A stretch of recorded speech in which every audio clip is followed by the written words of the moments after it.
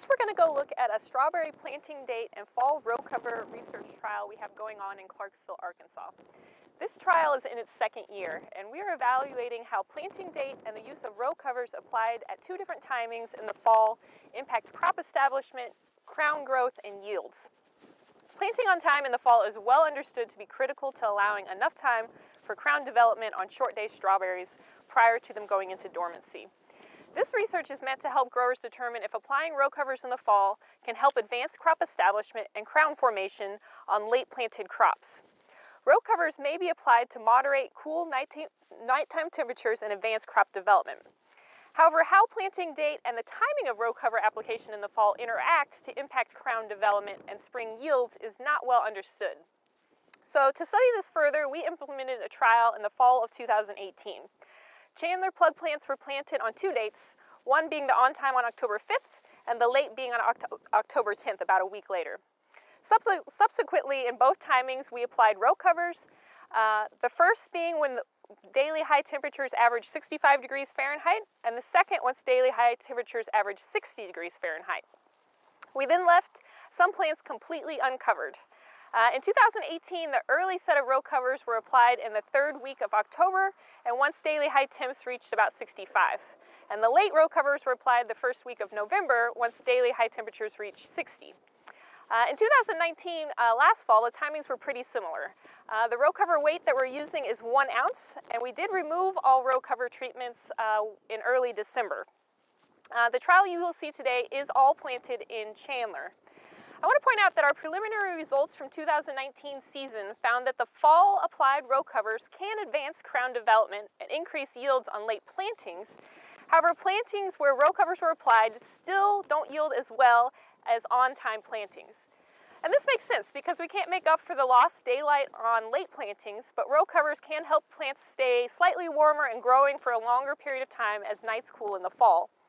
The on-time plantings all yielded similarly, regardless of row cover use, and so a row cover didn't really seem to advance crop establishment any further if plants were already planted on time. These results are indicative of the last seasons we've had in 2018-2019, where a major cold spell in about the two to three weeks after planting definitely impacted crop establishment in the fall. So how are we looking here at our second year of replicating this trial? Well, you remember we've talked a lot about this freeze that happened on Veterans Day, November 11th to 12th here in Arkansas, where we had major drops in temperature from 60s to 70s to the mid-20s across the state.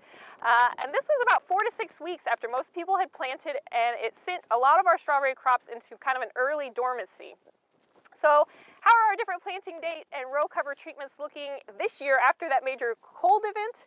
Well, let's take a trip down I-40 uh, and you're to Clarksville, Arkansas, and you're gonna see two different videos uh, of kind of how those plants are looking. One from about uh, two to three weeks ago when we were biomass sampling, and another from about a week ago when we went through and started counting um, blooms and buds.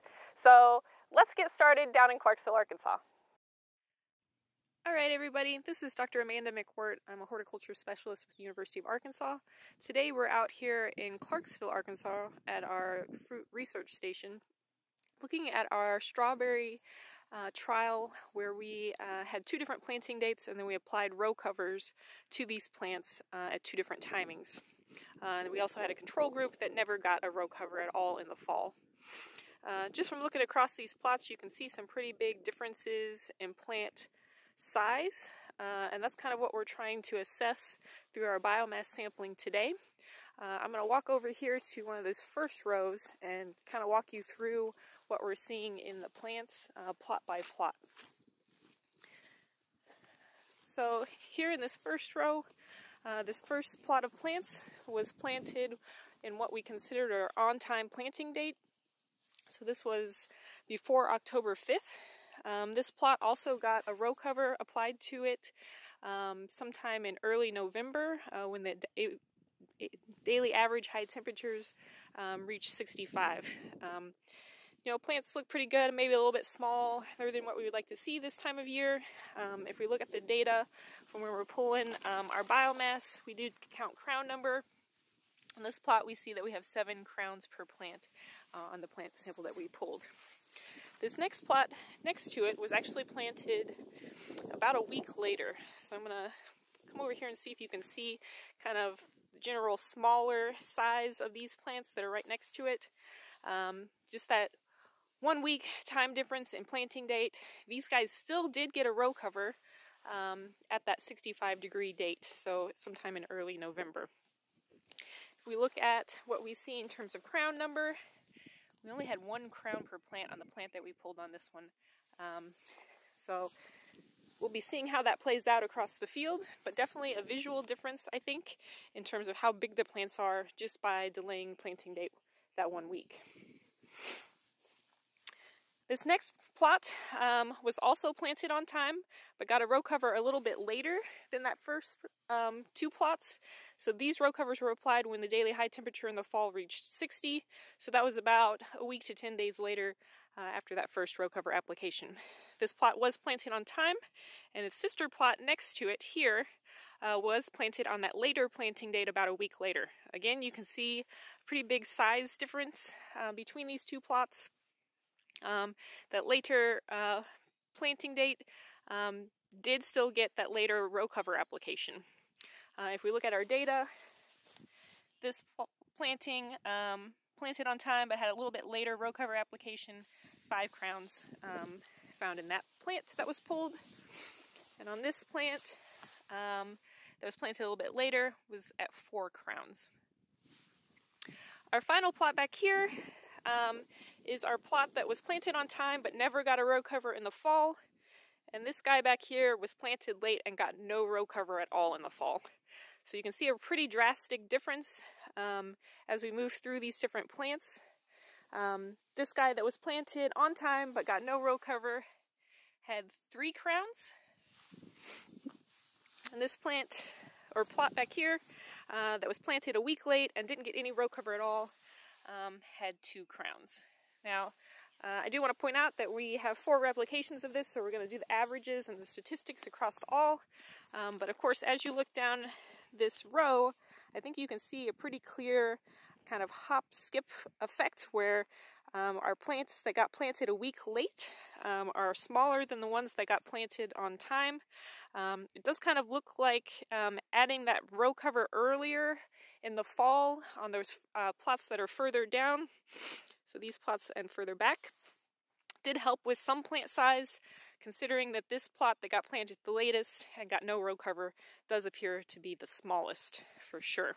Of course, um, you know, the fall is going to be very important to crown development. Um, and so I think this is, this is good information for us to have here in Arkansas about the importance of planting on time. Hey everybody, we're out here again at the Fruit Research Station looking at our strawberry planting date and fall row cover application trial. I just want to show you kind of what we're working on today. Uh, we are going through and counting how many buds, blooms, and green berries there are on uh, about five plants in each plot. Um, and we're seeing some pretty striking differences between our early and our late planting date. So for an example here, this is one of our late planting date plots. Uh, plants look pretty good. When we start to zoom in and look and do our bloom and berry counts, um, you know, we're seeing a couple green fruit in there, some buds still uh, about to open, a few blooms. Where by contrast, if we go to one of our plots that is an on-time planting and kind of look down in the canopy to see what we see, we see quite a bit more green fruit, blooms, and buds. All right, well, I hope you enjoyed that trip to Clarksville. As you can see, we're still seeing a really strong effect of planting date. And so kind of our take-home message is that we still want to try and plant on time, but if a situation occurs where we're not able to and we're delayed, a one ounce row cover applied a few weeks after planting in early October can help uh, advance crop establishment and hopefully contribute to increased crown development in the fall. We are still continuing to collect yield data on this trial and we're hopeful to have those results compiled later this summer to give you a better understanding before we move into the fall planting season for the 2021 strawberry season. Thanks so much for watching.